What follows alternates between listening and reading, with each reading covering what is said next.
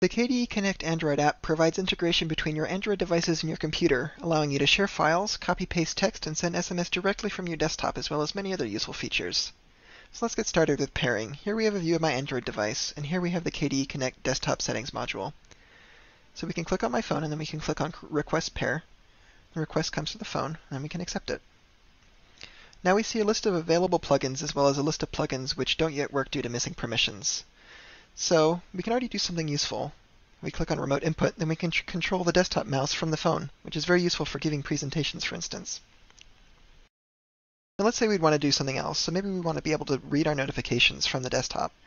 So notification sync, it says we need to grant permissions to access notifications. And of course, this isn't a regular Android permission, but we handle it the same way. We send the user to the settings screen. We allow the permission.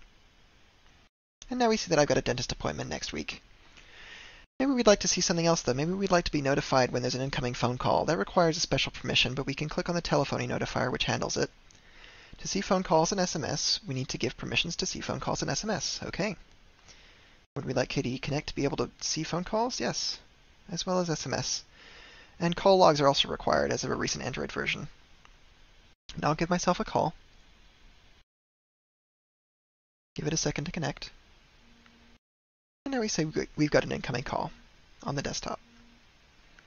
I also get notified of the missed call since I ignored it.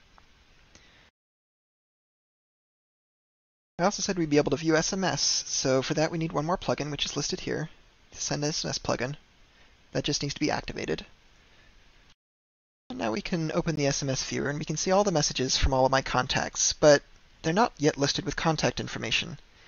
Of course, there's a contact synchronization plugin we haven't yet enabled, so if we enable it, to see contacts, we need to give permissions to the contacts book, uh, KDE Connect access.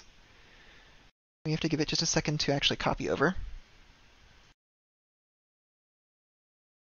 Should be available. Now we see all the messages as well as the contacts who sent them. We'd like to see a new message. I can send myself one. You see this new message pops to the top. We can view it, as well as the very long history of testing this application. We can reply to it.